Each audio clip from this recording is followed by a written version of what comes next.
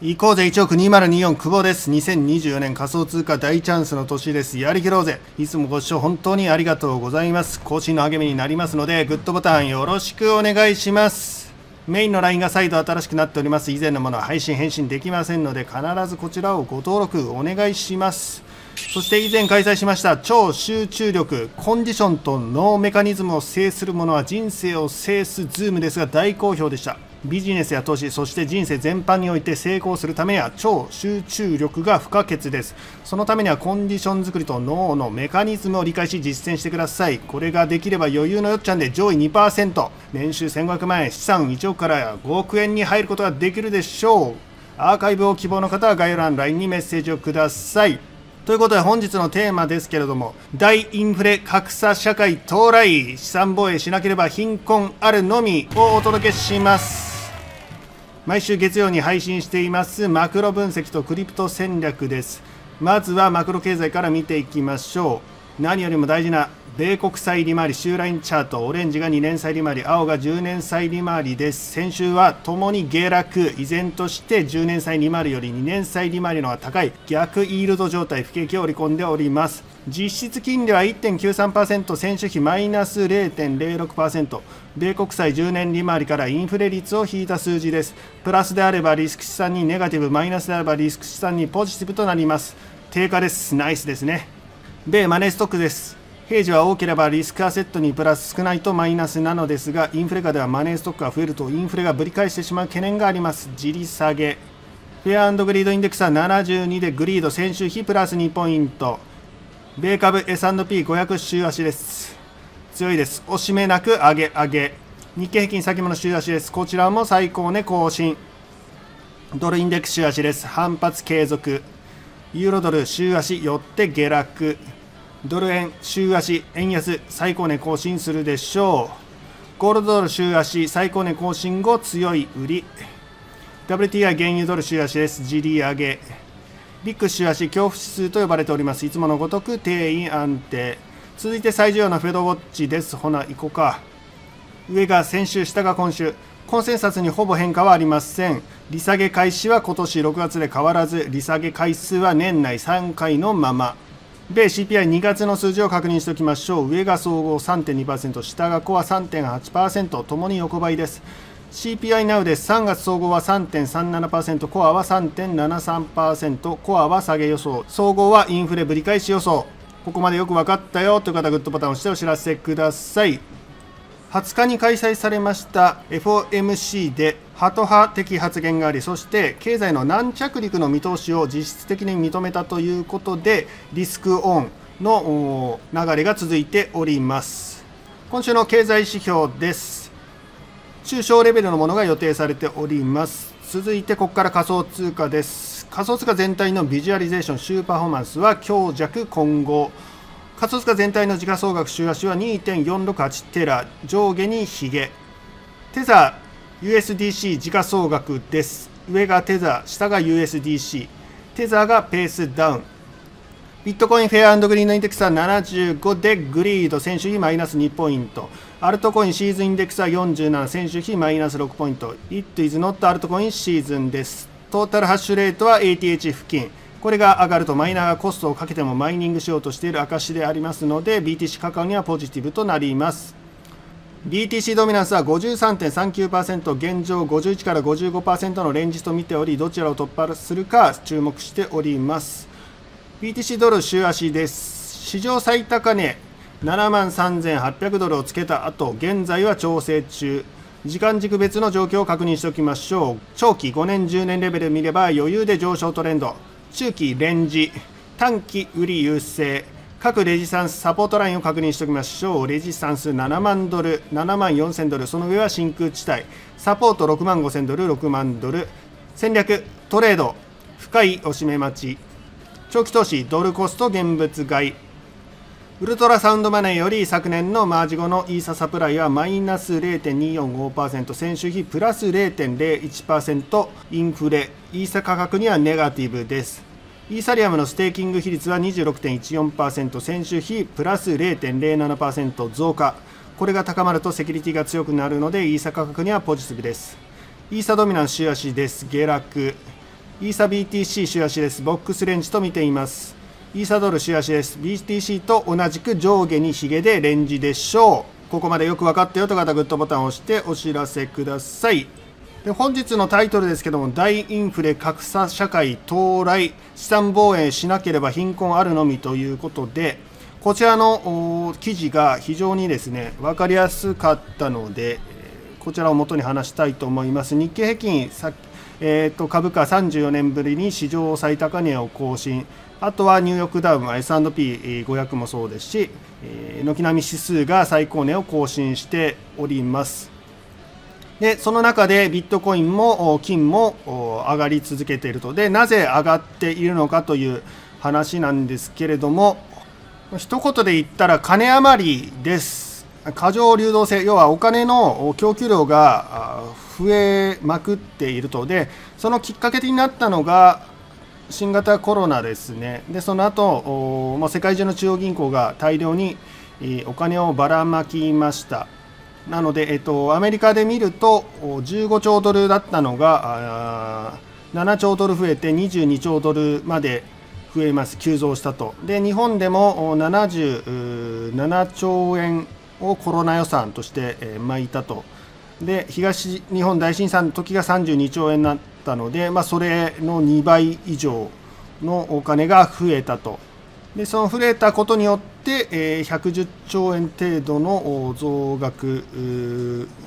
で過剰流動性を引き落とし起こしさまざまなバブル要は資産が上がっているとでその上がっている資産が株式であったり金であったりビットコインです。で、ここに書いてありますけども、これ僕は何度も何度もね、本当にもう100回以上言ってるきましたけど、あの政府によって供給されたマネーは法定通貨ですね、これはあの発行に制限がないです、一応アメリカはね議会によって制限されてるんですけど、毎回、その茶番のようなね、あの上限を、債務上限を引き上げしてるんで、まあ、実質ないようなものです。なので、政府の一存で無制限に発行できるマネーが法定通貨と。で日本も事実上は無制限に発行できる、現実的には無制限に発行できるわけじゃないんですけども、要は国債をね、買い手がいないと発行できないんですけど、中央銀行が、あの買い取りをしてるんで、無制限に発行できるというのが、まあ、実情となっていると。で、えー、もうここれですね、限りある資産に、マネーが逃げようとしてる。うんまあ、資産が上がってるっていうのもあるし、まあ、逆の見方したら法定通貨の価値が下がっていてでそこからその逃避されているということです。であのまあ、金とか、ね、ビットコインがなぜ上がるかというのはあの供給量が限られているからですね金はその埋蔵量が限られているしそんなホイホイすぐ掘れるようなもんでもないでビットコインも同じですよね。あのものすごい電力を必要とするし2100万枚までしか発行されないという仕組みになっていると。で株式が、ね、なぜ上がるかというと例えばそのコカ・コーラとかあのコカ・コーラとか絶対なくならない会社あるじゃないですか。ああいうところってその、まあ、インフレでお金の価値が下がって、えー、例えばその今コーラが1本120円とかだとするじゃないですか。で、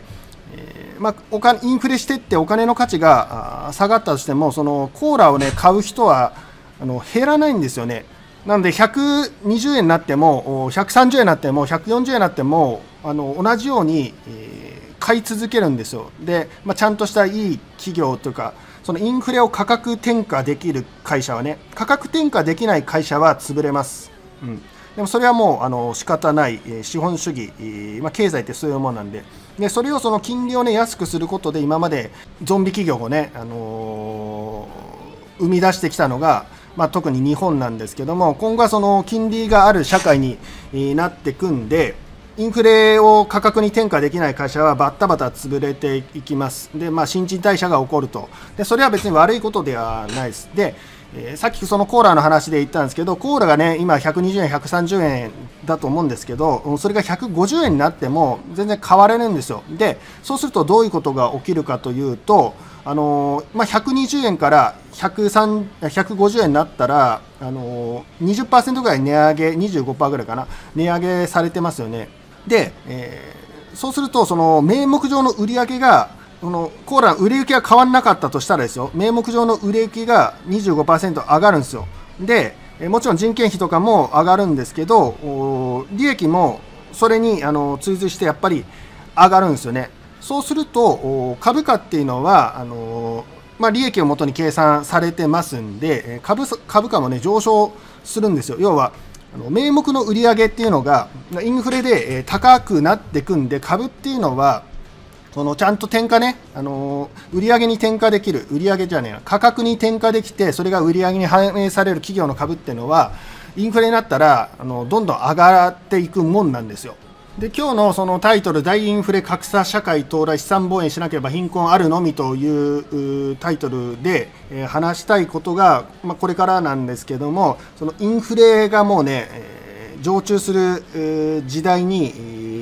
なってると、まあ、世界的にはもうなってるんですけど日本もついに30年のデフレを抜け出してなってると。なのでその資産を持たないと法定通貨だけ持ってたらどんどんその目減りしていってインフレで物の値段は上がってきますんで買えるもの購買力って言うんですけど買えるものが少なくなっていくわけです。どんどん貧しくなってくるんです。であの日本ってそのそんなにねそのめちゃくちゃ貧しい人ってないです。一億総中流社会と呼ばれていてそんなに格差ない。まああの自分はねそんなにあの豊かじゃないよ貧乏だよって思ってる方でもその世界的に見ればその全然格差ない中で生きているんですけどもそれがグローバルスタンダードな格差社会になっていくともうとんでもないねあの、まあ、生活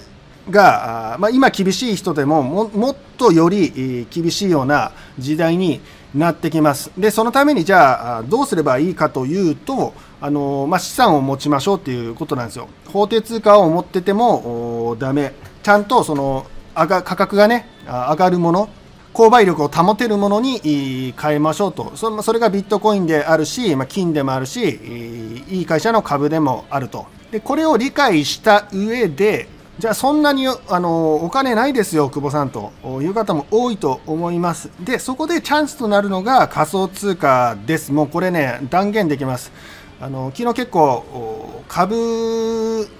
の詳しいね、あのまあ、人に教えてるレベルの人といろいろ話してたんですけども、今のその若い世代、Z 世代っていうんですかね、は非常に仮想通貨に、まあ、興味があると。でまあ、株 NISA とかね新 NISA とかで流行ってますけどあのやっぱり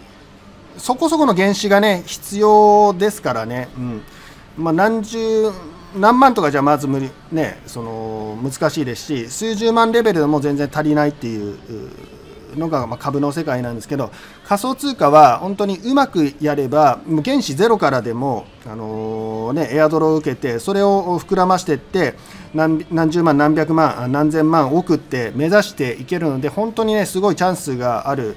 世界です。ただあの非常に罠が多いんででそれを避けないともう痛い目に遭って,、ま、遭ってしまう。地味猛量がね、えー、いる世界ですので、まあ、そこはまあ、しっかりと避けつつ、まあ、ちゃんとやればねあの本当にもう投資額なくてもテストネットっていうあのお金がかからない形でエアドロを受けたりすればそれがね、まあ、数万とか数十万とかあなってでそれを原資に膨らませていけばあ先ほど言った通り数十万から数百万で数千万億っていう感じで増やしていけるのが仮想通貨の世界ですので、まあ、非常にねその今、はっきり言って、えー、行動を起こさないと、もう大インフレ格差社会が到来してますんで、えー、まあ、資産防衛するのはまずあの大前提で、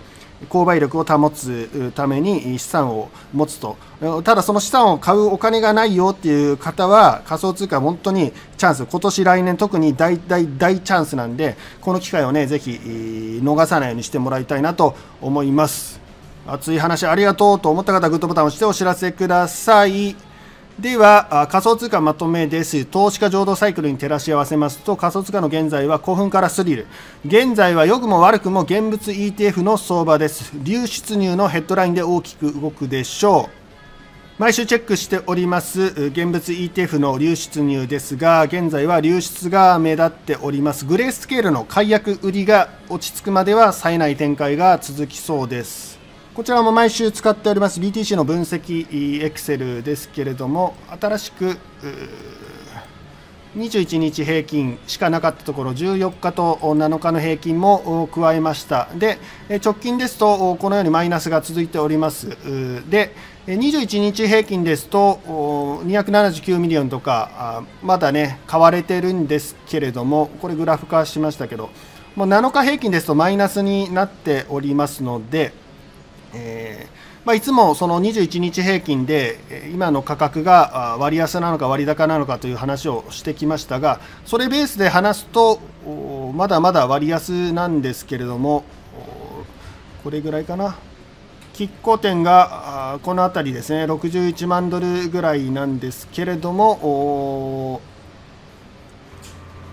まあ、7日平均でマイナスですので、まあ、それベースで考えるのはちょっと楽観的すぎるかなと思います。で、えー、まあ、引き続きね、ここをチェックしていくしかないんですけれども、今年、まあ、半減期来ますので、えー、まあ、それで、ま、かなりね、あの需給というのは改善されると思うんですけれども、現物 ETF の流出入というのは、やっぱり、えー、今年、ま、今回の BTC 相場の一大重要ポイントとなっておりますので、引き続きですね、確認し、シェアしていきます。よろしくメカドックという方はグッドボタンを押してお知らせください。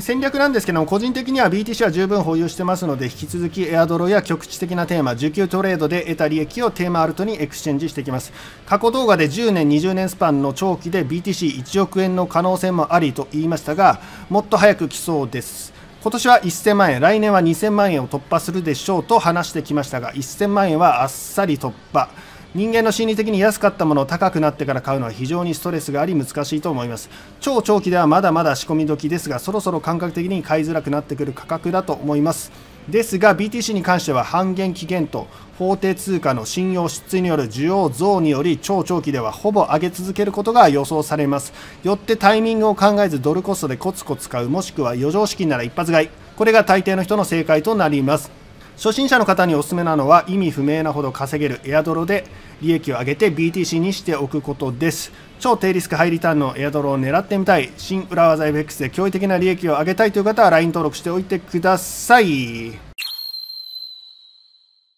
先日開催しました超集中力コンディションと脳メカニズムを制するものは人生を制す Zoom ですが大好評でした。ビジネスや投資そして人生全般において成功するためには超集中力が不可欠です。そのためにはコンディション作りと脳のメカニズムを理解し実践してくださいこれができれば余裕のよっちゃんで上位2%年収1500万以上資産1億から5億円に入ることができるでしょうアーカイブをご希望の方は概要欄 LINE にメッセージをくださいということで、収書の地合や相場間分析でした。地合というのは天気予報や地図みたいなもので、台風の中で外で遊ぶ人やナビも見ずに知らない場所へ行く人はいないじゃないですか。投資は勝ちやすい時、勝ちづらい時があります。今がどういう状態なのか、何に資金が向かっているのかを知ることはとても重要です。その指針としてぜひ参考にしてください。という方はグッドボタンを押してお知らせください。最後に、えー、ズームスケジュールのご案内です。3月27日水曜日20時から月1お掃除リボーク会というものを開催します。一般開放しますので、え当日の1時間前ぐらいに LINE でズームリンクをお渡しします。ですので、それまでに LINE の登録をしておいてください。これからも皆さんが自由を手に入れるために必要なことをお伝えしていきます。今週も一生懸命頑張って理想の未来を作っていきましょう。久保についてくれば OK です。ディスコに入ると完璧です。今日の動画いいねと思ってもらえたらチャンネル登録とグッドボタン、通知ボタンまでよろしくお願いします。